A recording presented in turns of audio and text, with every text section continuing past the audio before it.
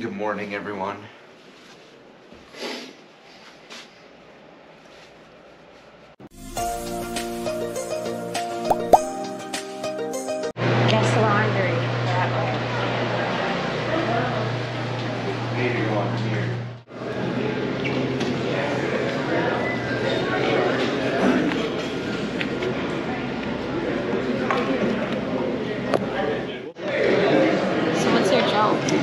So we are still at the Hilton Garden.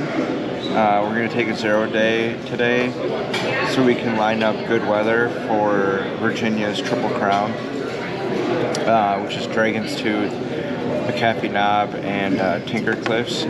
Um, those are like really big Appalachian Trail uh, sites, and we really didn't want to be hiking, like hiking on the days where it's really bad and Show what it looks like outside. this is what it looks out like outside today. Sorry, hold on. And we would have been getting the Dragon's Tooth today.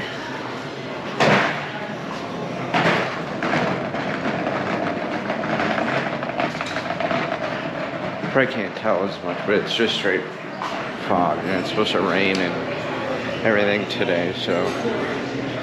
But Roper's got a more, and we're back. So this is not really a joke. It's more introspective because, as most of you know, I'm rather old, and I've been thinking about. Well, you know what happens when you get old. You finally come to the point where you die. So anyway, my It's dark. my thought is, I decided I'm not. I want to die like my grandfather did in his sleep. Not like the other four people in the car with him screaming for their life. Ain't no way, Roper. Ain't no way. That's it.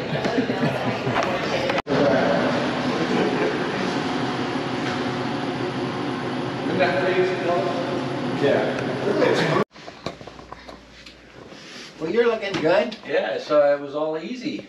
Yeah. Flatlands up at the top of the Virginia crown. straight flat. We're chilling here in our zero day, and Splathead's back.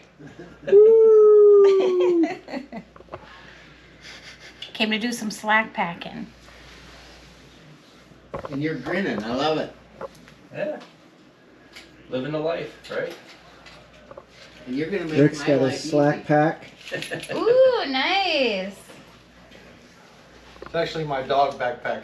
When I used to go out with the dogs and the Oh yeah. run around, I took, always took this one. So. Leah and I are gonna have to bust our ass to keep up with these guys now. You can give me your food. That'll make sure you make it to the next stop, right? Right. Yeah. I guess just So check it out. Rick's ready for his first day of school. he's got his slack pack ready to go.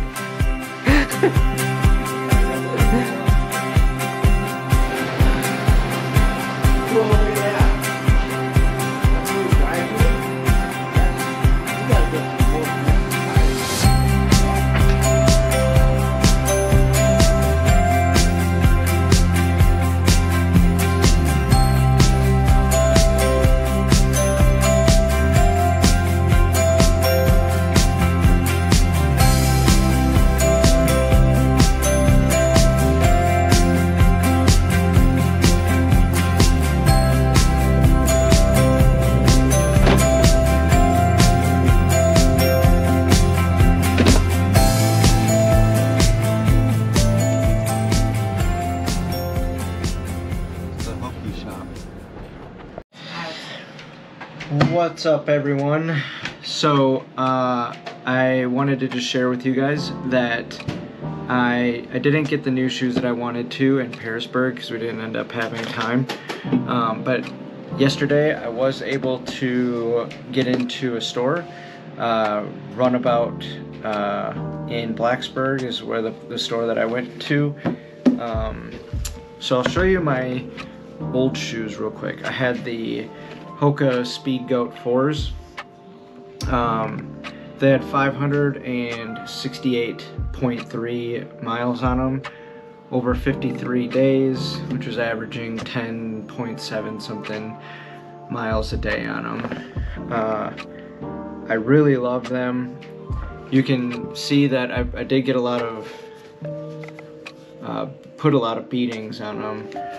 I was starting to get a hole on the side here from all the rocks. You can see my toe was getting pretty bad, beat up right here.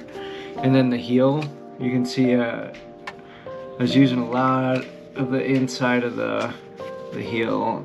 A lot of the tread is, is pretty worn out on it. Um, here's the other one. Just, just quick show you guys. And the same, same holes wearing in through here. So these are the Speed Goat 4s. I did end up going with Hoka's again, but I got the Speed Goat 5s. The uh, Speed Goat 5s still have the um, 4 millimeter heel to toe uh, drop.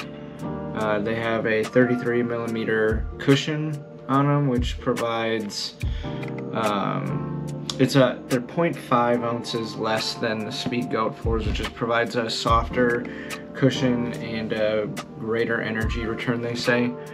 Uh, they also have the same Vibram grip uh, sole, and then you can see like the the design is a little bit different down here, a little deeper, provides uh, greater traction. Uh, the the heel's different. So you have this lip here versus the the loop here. I didn't like this. I wish this would have been vertical instead of horizontal. And then the uh, the tongue, the tongue is a little bit different. It's hard to kind of see. It's got this. Uh, it's got this like dip in it. I don't know if I'm gonna like that too much. See how that gets kind of. You kind of see it right there. Um, and then it's got an increased uh, toe box size than the Speedgoat 4. But I'll be excited to get out there and try these on the trail uh, starting tomorrow. Have them again for probably 500 miles or so. Uh, I'll let you guys know if I can tell a big difference between the 4s and the 5s. Thanks. What up everyone? So we are closing out this zero day. Um, we finished a couple videos, as you've seen. Um, other than the weather, we got to link back up with Splathead, aka Rob. Um, haven't seen him since uh, leaving the Smokies, so that was pretty cool. He's gonna be um, slack packing silverback and roper for the next two two or three weeks. Two weeks, yeah. Um, so you might not see them As much. as much. We're gonna do the best that we can. We're gonna try to keep up. to keep up. Um, we're bursting out of the gate tomorrow with a The 20 mile? with a 19 to 20 miler, trying to keep up with them. Uh, I don't know how long that'll be sustainable, but I think we can do it. yeah, we're gonna try our best. Uh, but it was cool seeing him again. So, Splathead, welcome back to the team. Uh, yeah, other than that, Yeah. what did we do today? we went and got um, I went and got some more cigars. Um, Got dinner, we got did dinner, laundry, did laundry. we hung outside for a little bit and got a sunburn Yep. for whatever reason. Um, yeah, And then just work on videos as usual. packed up a little bit, organized a little bit. But yeah, Avoided the storms. well, it's gonna rain on us tomorrow. Yeah, it was day. back to back Yeah. But uh, Tuesday should be nice, which is what we were aiming for. Anyways, that's the whole reason we took the zero is so that we could get to. I'm not. How do you say it? Caffeine knob. Yeah, when it was nice, because that's one of the things that we really want to see. So Right. We'll uh we'll see you all tomorrow. Thanks for watching. Bye.